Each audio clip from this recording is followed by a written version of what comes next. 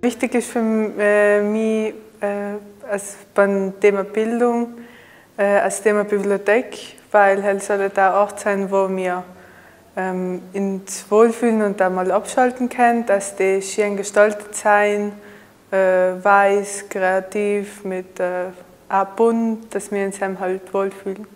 Es war eine sehr schöne Erfahrung. Ich bringe mit, ähm, ja, dass wir da so viel gelernt haben. Ich habe so viele tolle neue Kinder kennengelernt. Ich konnte, hatte die Möglichkeit, die Politiker kennenzulernen und auch mal sehen, wer da einfach ist. Die Leute, das ist auch spannend.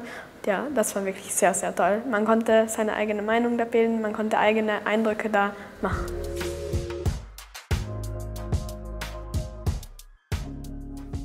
Dieser Kinderlandtag sehr, sehr wichtig war und wir freuen uns auch, nächstes Jahr einen neuen Kinderlandtag zu machen, um wieder neue Kinder mit, äh, hier in, mit ins Boot zu holen und neue Meinungen und Ideen zum Ausdruck zu bringen.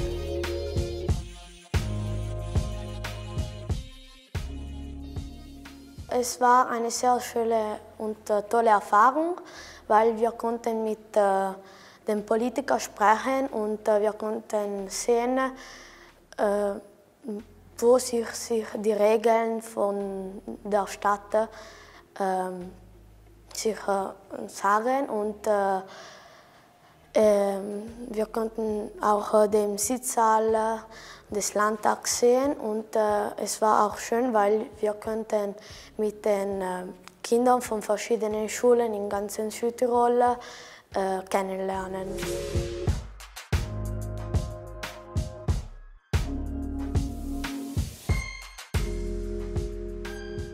Die Ergebnisse, die wir heute vorstellen durften vom Kinderlandtag 2019, sind ganz vielfältig. Sie beziehen sich auf sieben Kinderrechte und Schwerpunkte waren für die Kinder sicherlich das Recht auf Bildung und auch das Recht auf Schutz vor Diskriminierung.